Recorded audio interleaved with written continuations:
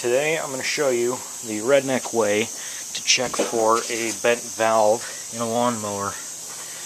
Uh, this one, I just got it came in. Uh, it was uh, not running very well and the guy put an overhead valve spark plug in this flathead engine and I'm uh, assuming that it bent probably the intake valve right here my finger is so I'm going to check that and see if that's actually what it did. And uh, yeah so get some Windex spray it on the valve. Then get some air pressure spray it through the carb and see if it bubbles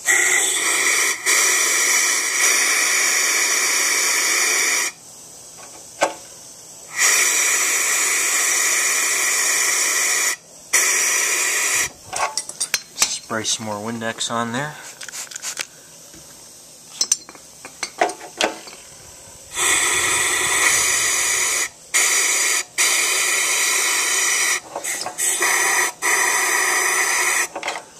And I don't see any bubbling, so that would mean that the valve is not bent. So that's pretty much all there is to uh, checking and see if you seeing if you have a bent valve. Uh, you don't need all the expensive, you know, leak down testers and all that. I mean, it's better to have that stuff in. By all means, if you have it, use it. But this is just for, you know, what the, the homeowner can do to try to diagnose his lawnmower.